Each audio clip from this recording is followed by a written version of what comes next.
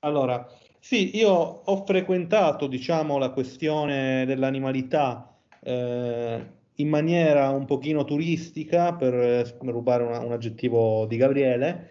Eh, non sono un esperto in questo campo, ammesso che ci siano campi in cui sono esperto. Eh, condivido molto l'impostazione di Gianfranco Marrone del, del dilettantismo come professione nella, nella semiotica, eh, ma delle premesse mosse oggi, sicuramente quella che mi trova più concorde è quella di una certa urgenza lega- legata a una presunta questione animale, cioè eh, studiare oggi il tema dell'animalità non è più fare probabilmente uno studio eh, di un oggetto marginale, ma vuol dire occuparsi di un oggetto centrale. Ehm, quindi vuol dire costruire una riflessione, dare una dignità filosofica eh, a un oggetto che è, in qualche modo sineddoche eh, di un discorso più ampio sulla natura. Quindi, eh, insomma, è sempre bello ritornare su questi temi perché sono temi che comunque ci devono convocare, questa è la mia, è la mia, è la mia personale idea. E allora ho chiamato eh, questo intervento Love, Semiosis and Masters, sociosemiotica e alterità delle fantafaune cinematografiche. Brevemente le cose che andremo ad esplorare sono annotate qui. Eh, mi piacerebbe, come dire, ritornare alla questione della zoosemiotica, eh, chiedendoci un po' dove l'abbiamo lasciata e dove la stiamo portando la zoosemiotica quando la pratichiamo, perché il dibattito, il dibattito secondo me è un dibattito mm, in corso, ecco. Ehm, e io penso che, mm, faccio diciamo un anticipo, Penso che un buon modo di fare oggi zoosemiotica sia quello di farlo in, in ottica di quella che alcuni, come Timo Maran, hanno chiamato ecosemiotica. Eh, e associerò questa, questi principi, diciamo, a, eh, all'idea dell'animalità, del discorso sull'animalità come di un discorso sull'alterità. Eh, io credo che eh, insomma, l'intervento di Dario Martinelli sia interessante eh, oltre a proporci una tipologia dell'ibridazione per il fatto che, eh, appunto, come diceva Gabriele, ci racconta di una rappresentazione dell'animale che comunque eh, scavalla nel mostro. E il mostro è, nei termini di una semiotica dell'alterità, l'istanza di mediazione fra noi e l'altro. E, e quindi penso che la semiotica dell'animale, eh, dell'animalità si, si, debba innestare in un, in un tipo di diciamo, episteme eh, così configurato. Almeno questa è la proposta che avanzo io sulla base delle mie eh, conoscenze. Ma partirei dal titolo.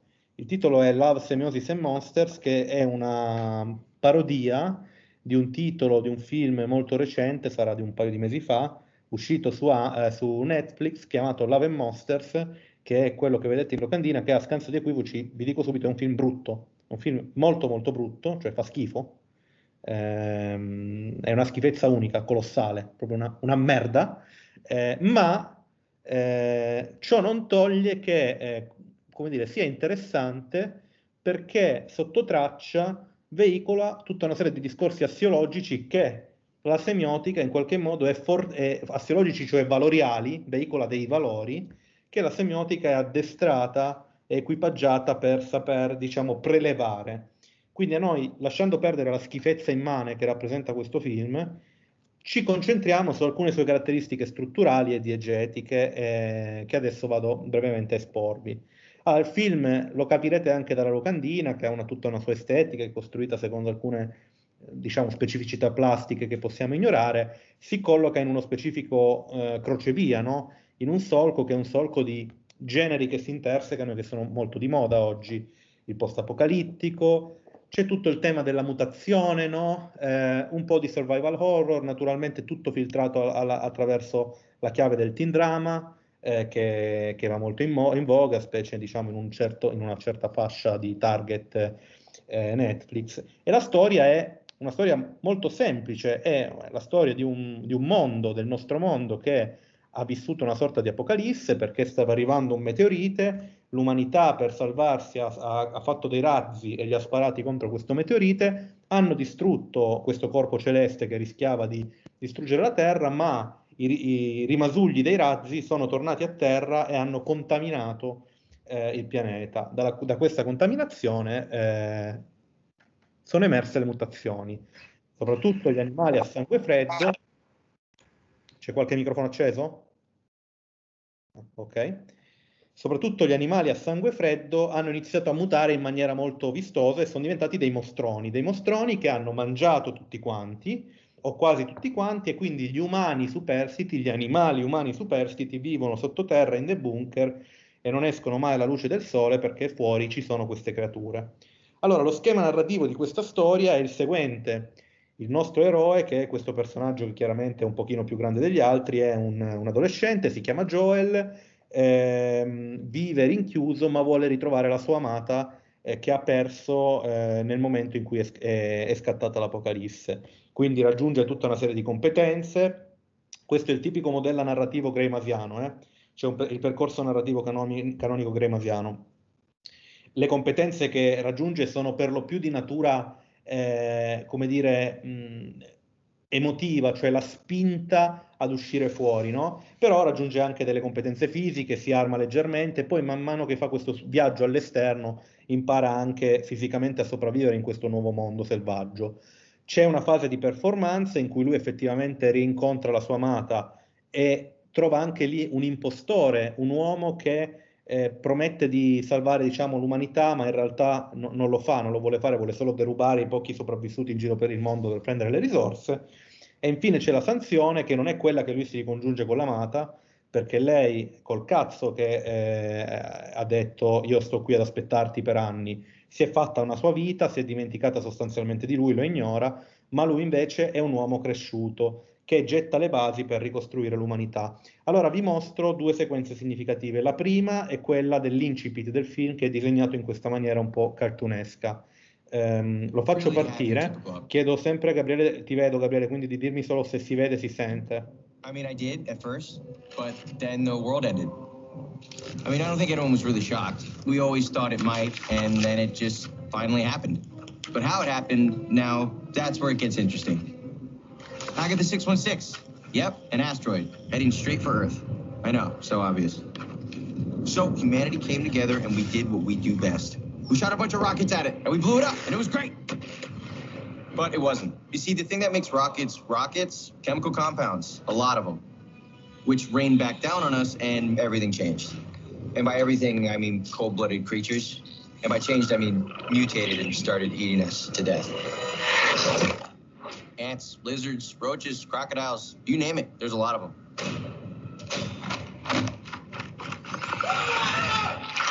Actually, I knew this one kid who was eaten in his sleep by a goldfish he won at a carnival. Man, Todd loved that goldfish. And that cat. Allora, il bambino, vedete il pesce in, sacche, in questo sacchetto di plastica da Luna Park, che in una sorta di contrappasso eh, diventa gigante, se lo mangia, gli escono tanti occhi fuori, ricorda un po' i Simpson.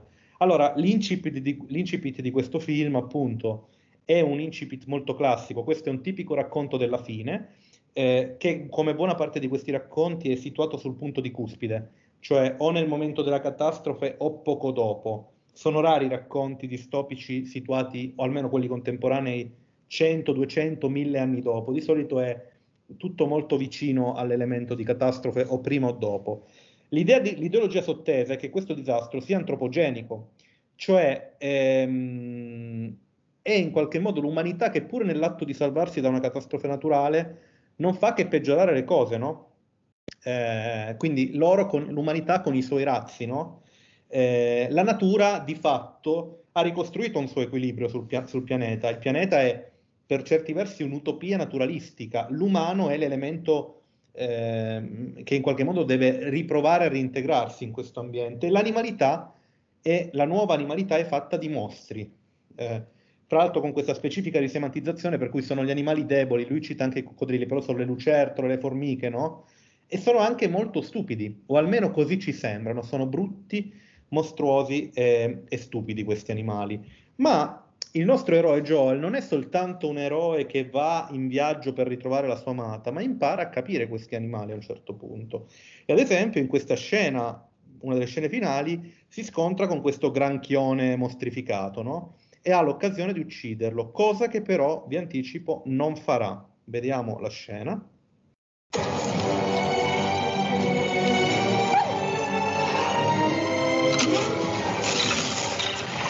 Questo è l'impostore che appunto si, si, spacciava per essere un grande capitano che portava tutti in salvo, in realtà se ne va con una barca e sfrutta come mezzo propulsivo questo granchione a cui dà delle scariche elettriche, avendolo incatenato, eh, e il, gra- il granchione gli obbedisce, no?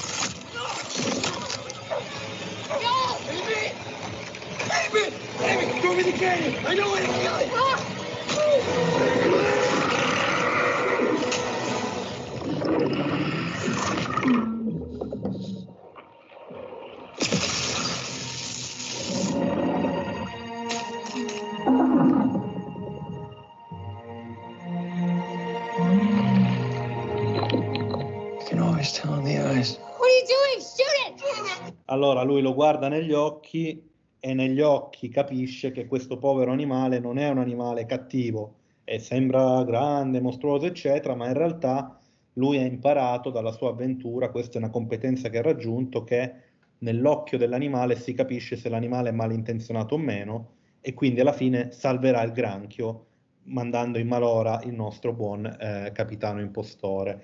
Questo è un tipico caso di agnizione finale che passa attraverso l'ocularità, il granchio mutante è aggressivo perché soffre, ma i suoi occhi raccontano di una bontà di fondo.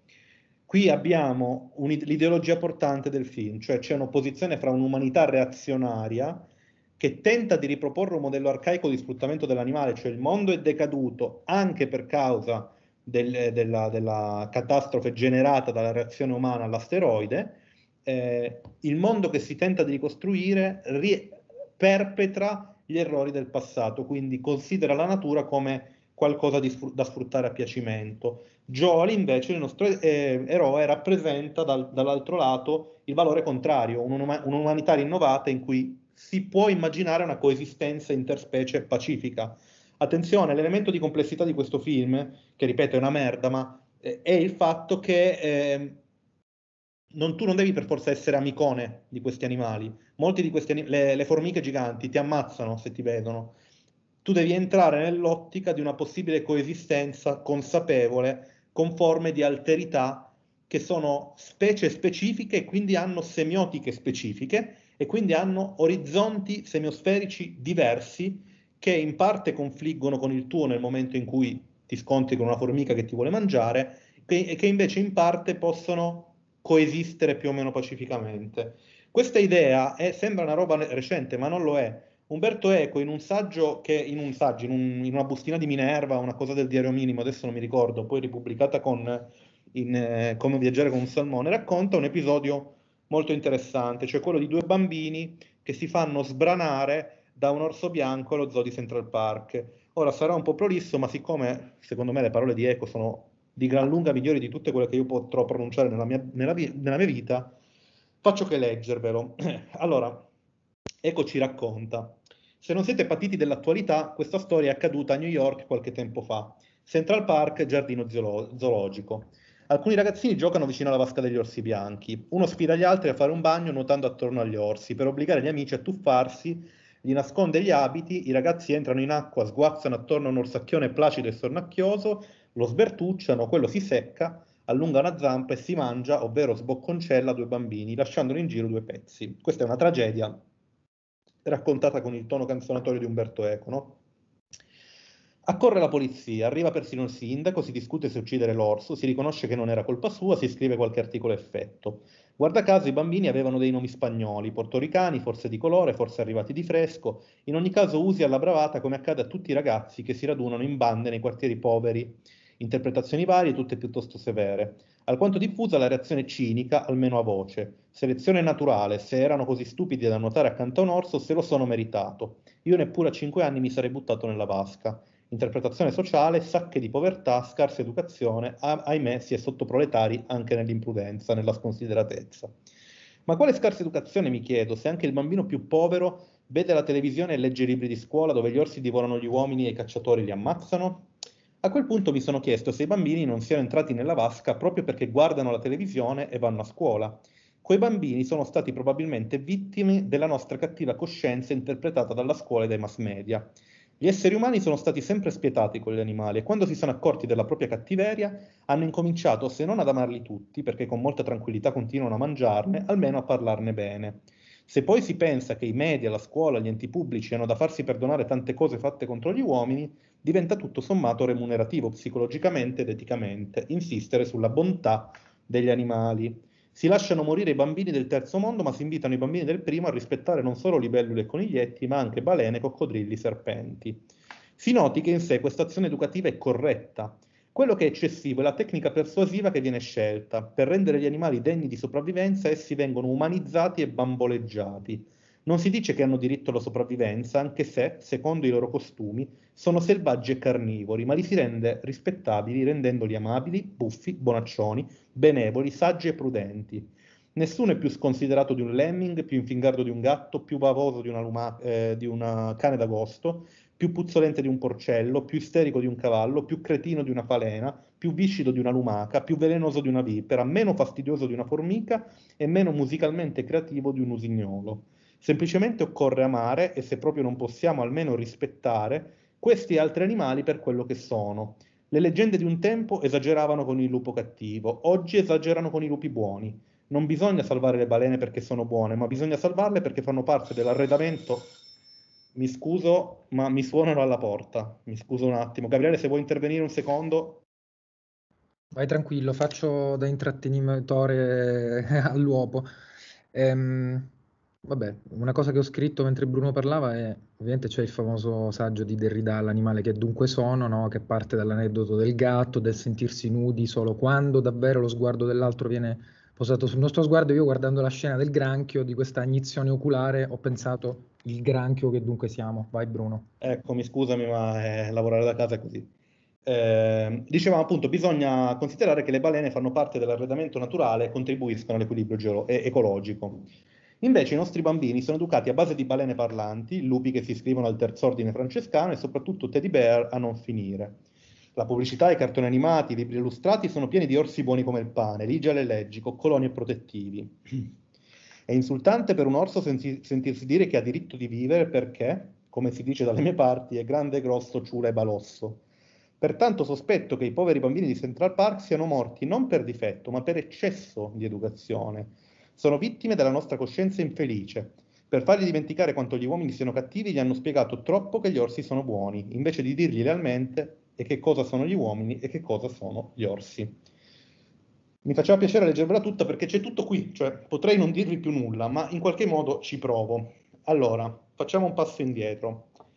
La zoosemiotica, come diceva Gabriele, è una disciplina specifica, fra l'altro è una disciplina antesignana della semiotica che pratichiamo oggi. Se voi guardate eh, Umberto Eco che nel primo congresso AIS, che per introdurre il primo congresso AIS fa una specie di intervista nel 1974 alla RAI, e gli viene fatta la famosa domanda cos'è la semiotica, lui a un certo punto parla già di zoosemiotica ed effettivamente ne parla in maniera classica, cioè ci dice è quella disciplina che studia come comunicano gli animali. In questo senso questa disciplina ha dei chiari punti di contatto con la zoobiologia, con l'etologia, eh, eccetera, eccetera, eccetera. Il presupposto epistemologico di questa disciplina è che gli animali comunichino strutturalmente con modelli, sistemi, schemi che sono in qualche modo potenzialmente vicini da un punto di vista strutturale a quelli umani, cioè il principio di fondo è che gli animali producano segni.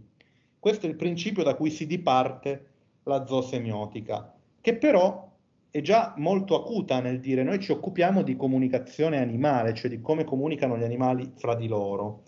In realtà questa materia è una materia che è andata avanti nel tempo, ma poi pian piano, anche con l'avvento della sociosemiotica, una parte di zoosemiotica è diventata quella che poi Gianfranco Marrone ha ribattezzato, eh, diciamo, formalmente zoosemiotica 2.0, cioè l'idea di fondo è che noi non abbiamo tante competenze dirette come semiotici per, per occuparci direttamente di come le formiche comunichino solo con la semiotica, però possiamo ad esempio cercare di capire in che modo l'animalità eh, funziona da un punto di vista culturale all'interno delle semiosfere umane, no? degli animali umani. C'è un passaggio fra queste due fasi, che è un passaggio cui Dario Martinelli su cui Dario Martinelli, che ha entrambe le competenze, ha lavorato molto, cioè su questo solco, alcune fonti sono citate qui, e si arriva sostanzialmente a quella che secondo me è una proposta interessante odierna, cioè questa idea di ecosemiotica, no?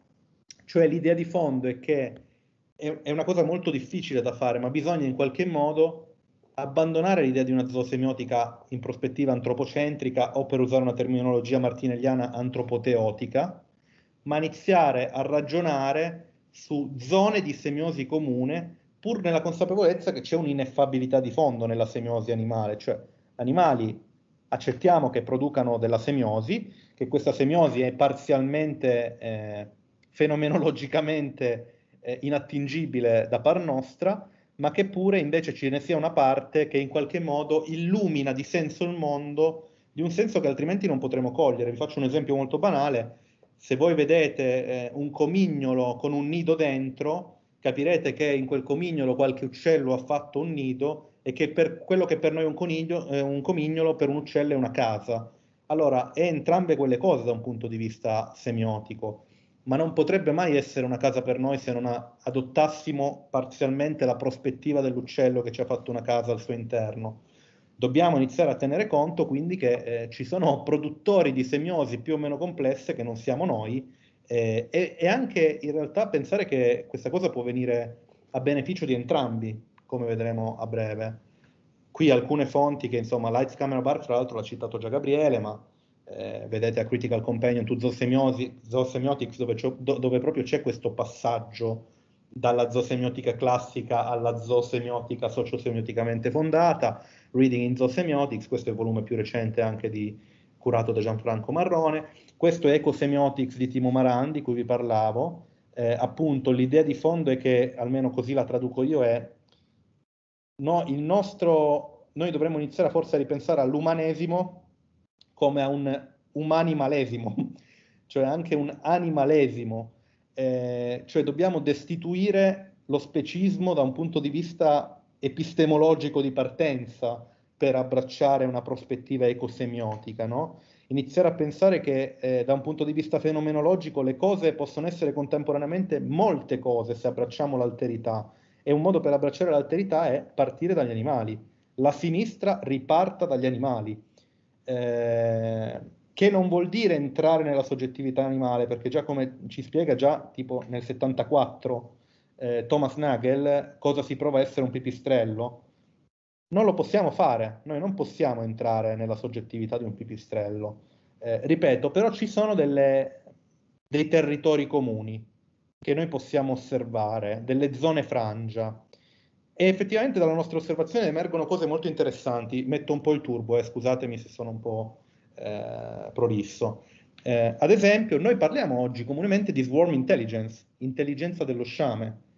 allora, eh, amici cari, cioè noi stiamo praticamente attribuendo, cioè stiamo creando dei sistemi ehm, tecnologici molto complessi attingendo da forme di intelligenza collettiva che sono tipiche, che sono simili a quelle che vengono chiamate stigmergie, no? Cioè mh, le formiche che rilasciano feromoni nel loro cammino e questa cosa costru- costruisce un'intelligenza collettiva per cui eh, il sistema formicaio si auto-organizza, no?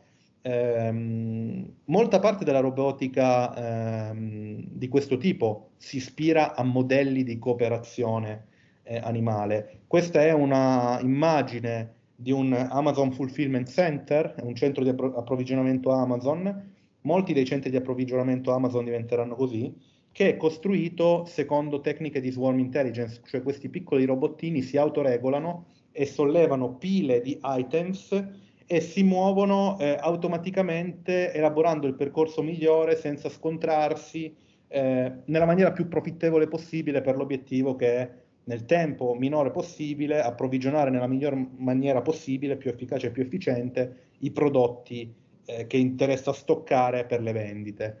Eh, io non so, questa cosa arriva dalla Kiva Robotics, poi assorbita da Amazon, io non so quale sia il modello tecnologico dietro, ma da un punto di vista letteratura scientifica, molti modelli tecnologici, almeno in partenza di derivazione cibernetica fino agli anni 90, hanno tratto molta ispirazione da eh, modelli di comportamento animali. Vi faccio vedere qualche immagine vi chiedo di provare a dirmi se non, di provare a pensare se non sembrino effettivamente degli, degli animaletti, delle termiti, questi robot.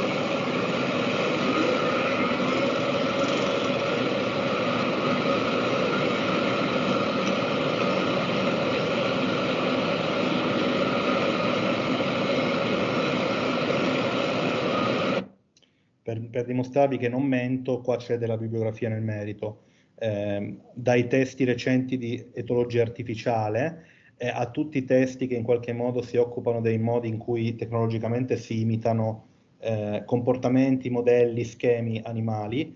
Questo è un testo di eh, Neurotechnology for Biomimetic Robots e moltissimi capitoli sono dedicati ad esempio a sensori eh, ispirati alla visione delle mosche, eh, a robotica che in qualche modo sfrutta alcune proprietà eh, dei delfini come animali, come mammiferi che però vivono nell'acqua, eh, moltissimo sull'insetto e così via.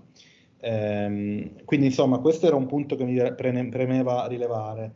Eh, c'è dell'alterità intorno a noi, questa è ineffabile, però ci sono dei punti di contatto se noi iniziamo a ragionare nei termini che come noi produciamo semiosi, l'alterità produce semiosi e che queste semiosi da qualche parte si può incontrare. Quando si scontra eh, ci sono le guerre, naturalmente. Quando invece si incontra, o lo sfruttamento, no? Quando si incontra invece profittevolmente possono succedere cose eh, interessanti come il progresso, l'innovazione. E allora forse la zoosemiotica o, o l'ecosemiotica possono essere intese come sottobranche, metto l'interrogativo perché sotto sovra lascio a voi deciderlo, di una potenziale allosemiotica, no? In effetti tutta la semiotica è in qualche modo una allosemiotica, questa è una cosa super tecnica che dico, se escludiamo la, la possibilità di un idioletto, tutta la semiotica è un'allosemiotica, ma non andiamo così nel tecnico. Su questo un libro guarda un po' con King Kong in copertina, caro Dario, eh, Tarcisio Lancioni nel 2020 scrive inseguiremo ancora unicorni, alterità immaginate e dinamiche culturali e effettivamente cosa, perché alterità immaginate? Perché noi l'alterità di cui l'animalità è parte per grasp, per, eh, per, per carpirla, per metterla nelle nostre grinfie, dobbiamo immaginarcela, dove per immaginarcela intendo metterla per immagini. Ecco perché il mostro è l'istanza di mediazione fra noi e l'altro, no? che contempera allo stesso tempo il fascino verso l'ignoto, ma anche la paura. Ed ecco perché a noi affascina moltissimo la mostruosità.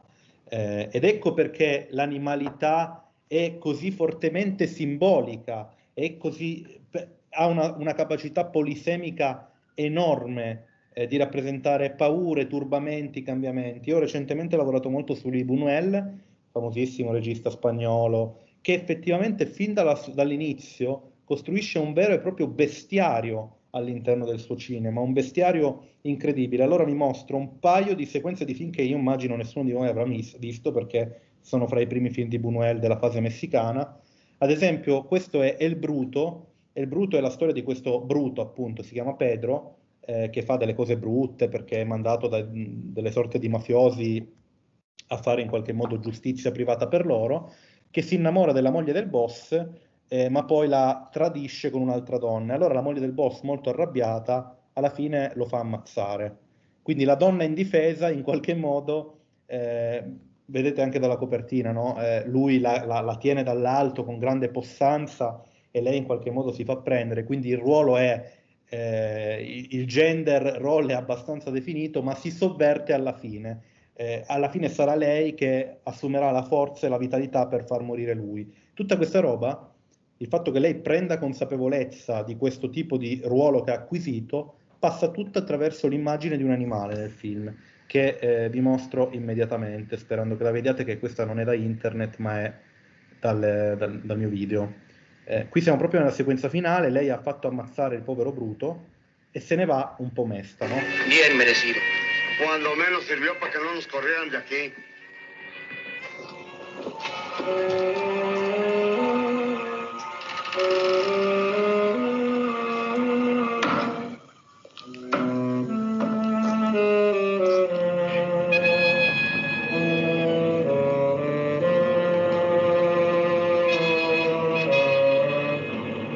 Vedete che guarda questo gallo eretto sul trespolo con questo sguardo terrificato che è lo sguardo della presa di consapevolezza, c'è tutta una simbologia del gallo nel film.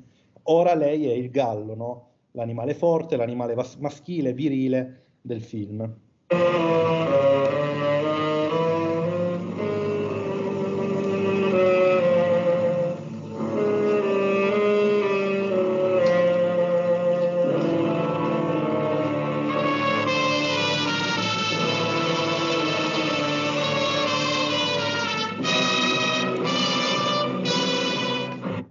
Insomma, Buñuel fa finire il film con questa roba del gallo. Non ho tempo di esplorare Buñuel, ma c'è una grande presenza di galli, galline, serpenti, eh, emu, eh, ippopotami, un po' di tutto nel suo cinema. Quindi l'animale è il grande altro, questa è l'ultima tranche, giuro. Relazioni con l'alterità ne abbiamo viste già parecchie con Dario Martinelli. Io qui propongo alcune delle modalità attraverso cui questo tipo di relazione è, questo è Beethoven, il vecchio cane di una sega di film simpatica. Eh, questa relazione con l'alterità appunto si configura attraverso una serie di relazioni che costituiscono un percorso ideologico piuttosto comune, cioè non sono mutualmente esclusive, eh, ma spesso si attraversano man mano. Abbiamo visto ad esempio che il King Kong più recente è un King Kong che prima spaventa, ma che poi invece produce una specie di innamoramento, di pietismo. No? Una relazione molto tipica è quella dell'ossessione, pensate a eh, come Acab eh, pensa a, alla, alla, balena bianca, che è la grande alterità, no? l'ossessione massima. Questa nella versione di, di, John Huston del 56. Quella faccia vi impaurisce affrontare Moby Dick? Capitano Acab, io non temo nessun genere di morte se mi giunge nell'esercizio del mio mestiere, voi lo sapete. Ma io voglio cacciare balene, non perseguire vendette personali. Quanti barili di olio potremmo ricavare da questa vendetta? Cosa ci frutterà sul mercato? La moneta è una cattiva misura. Essa frutterà a me una grande soddisfazione. Qui. Provare rancore verso una massa bruta che agisce solo per puro istinto è blasfemo. Badate a non tacciarmi di blasfemo, Starbuck. Io colpirei il sole se mi insultasse. Sentite, Starbuck. Tutti gli oggetti visibili non sono altro che maschere di cartapesta. Alcuni inscrutabili e pur coerenti fattori determinano la formazione dei loro lineamenti. La balena bianca me lo insegna. Essa è, è un mostro. Eppure non è che una maschera. È ciò che si cela dietro quella maschera che io odio soprattutto. I malefici arcani che hanno sempre afflitto e terrorizzato l'uomo dall'origine dei tempi. I mali che prostrano e mutilano la nostra razza, non uccidendoci decisamente, ma lasciandoci vivere con la metà di un polmone o la metà del cuore. Mi ringrazio anche John Huston perché come Umberto Eco ha detto tutto lui, quindi non vado avanti. Un altro tema chiaro è quello dello sfruttamento ed effettivamente qui avevo pensato anch'io alla cattura di King Kong quindi lo posso anche saltare. Naturalmente la paura, espressa perfettamente eh, in, eh, in, questa sequenza dello squalo che vi riassumo, ma insomma arriva lo squalo e lui tremando dice abbiamo bisogno di una varca più grande. Eh, si aprirebbe tutto il tema della megafauna, cioè il mostro come animale che canonicamente assomiglia a un animale in scala 1-1, ma che è molto molto ampliato. Su questa roba Matteo Meschiari eh, con cui io e Gabriele abbiamo già avuto modo di, di, interagire rispetto a questo libro, Antropocene Fantastico, si sofferma no, sul rapporto fra alterità e megafauna che emerge moltissimo nei, nei mockbuster, eh, pensate a Sharknado che è un grande classico, ma poi la cuteness, l'esatto opposto, no? Quindi tutto quello che è legato eh, a una, a, appunto al fascino per qualcosa di cuccioloso, no? Eh, che, è molto, che, è molto, ambiguo in realtà, perché la cuteness di per sé non, non, pre, non presuppone una, un'assiologia, un sistema di valori, ma è imbued, è imbevuta di sistemi di valori che le sono caricati eh, coattamente dopo. E in effetti questi sono casi in cui la cuteness poi manifesta invece una, un alter ego negativo, no? sembrano animaletti molto simpatici, ma invece eh, generano poi, sono, diventano brutti, eh, cattivi e mostruosi. No? Eh, sull'ambiguità della cuteness, ad esempio, sul, sul brand Pokémon, i Pokémon sono carini e coccolosi, alcun, buona parte, non tutti naturalmente, eh, ma su questi si può giocare sia per costruire un modello di mondo di perfetta collaborazione fra umani e animaloidi, perché sono dei paranimali Pokémon, Oppure si può fare come fa la PETA. La PETA prende il brand Pokémon e sfrutta la loro cuteness per costruire invece un mondo totalmente in cui ehm, ci sono persone che sfruttano questi animaloidi e gli animaloidi che cercano di liberarsi, quindi si cambia il motto da Goda Catch em all a Goda Free em all, esattamente l'opposto da un punto di vista valoriale. Cioè la cuteness, come dicevo, non implica un'assiologia rigida, pensate, pensate alle varie versioni di Pet Cemetery, eh, da, da, Stephen King, no? Eh, il gattino che sembra molto bello, ma poi invece è un gatto zombie. Questa è la versione del 2019 che ho visto, ma che insomma vi risparmio. Tutto il tema del, della cucciolosità riporta alla questione dell'ineffabilità. Um, un altro tipo di relazione è quella della collaborazione e del rispetto. Non so se vi ricordate l'opposizione fondamentale che c'è fra la, la donna impellicciata e Ace Ventura nel film. Ve la faccio vedere perché era molto carina. Gran bella sciarpa, sora giraffa. Forse potrò rimediarle un bel paio di soffici pantofoli nuove di zecca fatte con la testa di innocente di nermi cuccioli di foca.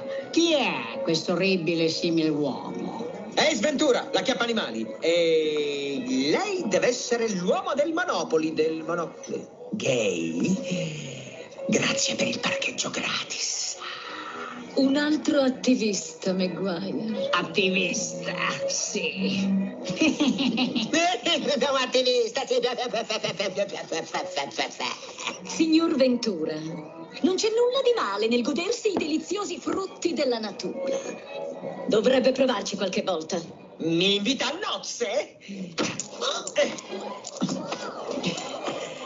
Sa una cosa? Ha ragione. Insomma, sistemi di valori contrapposti che si scontrano, diciamo, con il pretesto della comicità del film, ma che sono in maniera molto schematica messi in scena, io credo, eh, in, que- in, questo caso. Lasciamo stare il dottor Dolittle, che non ho più tempo, lasciamo stare anche il cane parlante, eccetera. Naturalmente eh, l'ineffabilità è, secondo me, è emblematizzata il punto su cui voglio arrivare è siamo circondati da decenni da questi discorsi. Questi discorsi sono tracce di un fermento filosofico e vanno messi a sistema in qualche modo. E questo è un primissimo tentativo raffazzonato. Qui sull'ineffabilità il discorso che fa un fichissimo Jeff Goldblum in Jurassic Park è esattamente eh, in linea con quello di cui stiamo parlando, che alla fine ci riporta all'antica dicotomia già Levi Strauss, Levi Strauss la, la, devastò fra natura e cultura, no? La mancanza di umiltà di fronte alla natura che si dimostra qui mi sconvolge. Ah, grazie, dottor Malcolm, ma credo che le cose siano diverse da quel che io e lei temevamo. Sì. Il dottor Malcolm non accetta che questi vogliano resuscitare dinosauri per farne un parco divertimenti, no? Sono molto peggio. No, aspetti un momento, non abbiamo neanche visto il No, no, Donald, Donald, lo faccia parlare. Non c'è motivo, mi interessa sentire tutti i punti di vista, dico su sé. Sì, lei non vede il pericolo che è insito in quello che fa. La potenza genetica è la forza più dirompente che esiste. Lei se ne serve come un bambino che, che gioca con la pistola del padre. Non mi sembra opportuno mettersi Eh, a generalizzare. Se, se permette, eh, le dico io qual è il problema insito nel potere scientifico che state usando qui. Eh, Non c'è voluta nessuna disciplina per ottenerlo. Voi avete letto quello che altri hanno fatto e, e, e di lì siete partiti. Non sono conoscenze dirette, quindi non assumete responsabilità. eh, per quello. Siete saliti sulle spalle di altri eh, per ottenere il risultato il più rapidamente possibile. E appena ottenuto questo risultato, voi, voi lo avete brevettato, impacchettato, ficcato in una scatoletta di plastica e ora lo vendete. Volete venderlo. No, io non credo che lei ci stia rendendo giustizia. I nostri scienziati stanno facendo cose che nessuno ha mai fatto prima. Sì, sì, ma erano così preoccupati di poterlo fare che non hanno pensato se lo dovevano fare. I Condor. I Condor sono già al limite dell'estinzione. Se No. decidessi, no, no, se decidessi di creare uno stormo di Condor su quest'isola, lei non avrebbe niente da No, obiettare. calma. Qui non, non si tratta di una specie cancellata dalla deforestazione o dalla costruzione di una diga. I dinosauri eh, hanno avuto il loro ciclo e la natura li ha selezionati per l'estinzione. Non capisco. Ehm, va bene, lasciamo perdere Shyamalan. Ehm, infine c'era qualcosa sulla ibridazione, ma sulla mosca ha già parlato eh, Dario, quindi lascio stare, insomma, ma ritorna un po' il tema icaresco-prometeico. Ehm, lascio stare anche il nostro giocare con l'animalizzazione, così potrete continuare a guardare la vostra pornografia furry senza sentirvi troppo in colpa, tutto quello che, ha- che riguarda con l'estetica kawaii, kawaii. Eh, e infine anche c'è il discorso dell'animalizzazione come tortura punizione, quindi la bestializzazione, pensate a Human Centipede, no? O pensate a questo grande film che si chiama Task, eh, non so se l'avete visto, in cui il personaggio viene ridotto a un tricheco ed è straziante il momento in cui lui si, re- si rende conto che non potrà più tornare umano e quindi nella sofferenza massima si abbandona alla- al suo nuovo stato di tricheco. Io scusate, mi sono andato molto molto di fretta ora perché mi rendo conto che siamo, siamo alla fine, non so, spero sia andato tutto bene e vi ringrazio per l'attenzione. Scusate se ho mutilato un po' alla fine.